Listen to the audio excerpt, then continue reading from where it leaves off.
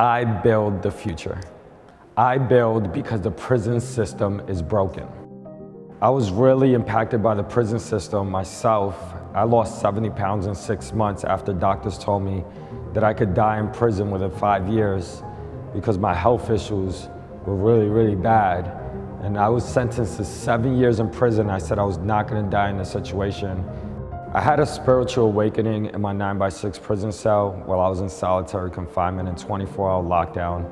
And at this time I was devastated because I was supposed to come home early, but I was neglected and I, was, I had to do an extra year in prison because of this situation. But this is where I started realizing what I was really doing was wrong and I needed to give back to society in a whole different way and give back and, and start this web of positivity instead of the negativity that I was distributing to my community.